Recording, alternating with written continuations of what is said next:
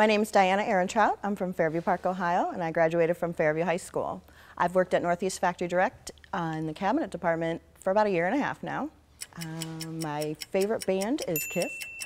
My favorite movie of all time is Dirty Dancing. My favorite kind of cookie is something that has big chunks of chocolate. Uh, celebrity, most people think I look like. Over the years, I've heard Julia Roberts, um, Alyssa Milano when I was a lot younger. if I could pick any superpower, I would love to fly.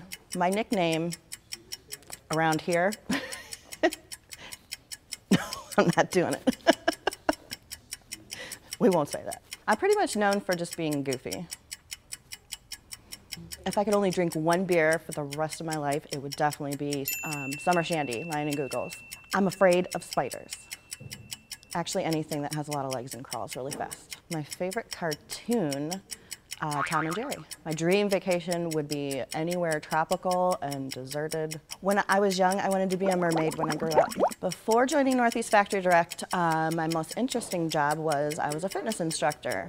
Three words that describe Northeast Factory Direct to me are fun, family, and friends.